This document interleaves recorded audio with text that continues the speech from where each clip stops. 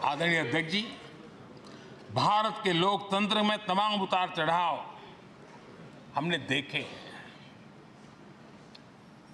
और ये सदन लोकतंत्र की ताकत है, लोकतंत्र की ताकत की साक्षी है जन विश्वास का एक केंद्र बिंदु रहा है इस सदन की विशेषता देखिए, और दुनिया के लोगों का आज भी अचरज होता है, ये सदन है जिसमें कभी चार सांसद वाली पार्टी सत्ता में होती थी और सौ सदस्य वाली पार्टी विपक्ष में बैठती थी। ये भी सामर्थ्य इस सदन के लोकतंत्र की ताकत का परिचय कराता है।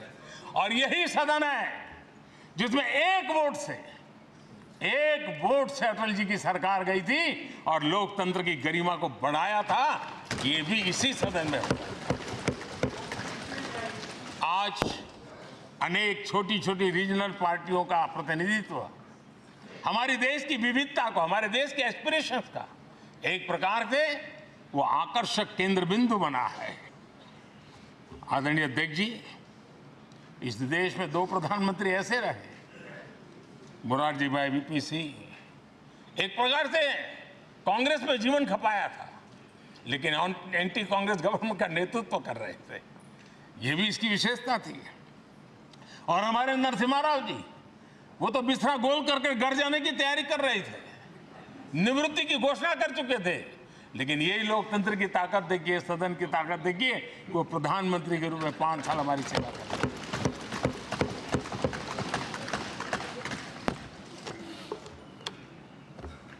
आदरणीय अध्यक्ष जी, सबकी सहमति से, कठिन से कठिन कार्य होते हुए हमने देखे हैं। 2000 की साल थी, अटल जी की सरकार थी। इसी सदन ने तीन राज्यों का गठन सर्व स्वीकृति से किया और बड़े उमंग उत्साह से किया। जब छत्तीसगढ़ की रचना हुई तो उत्सव छत्तीसगढ़ ने भी मनाया, उत्सव मध्य प्रदेश ने भी मनाया।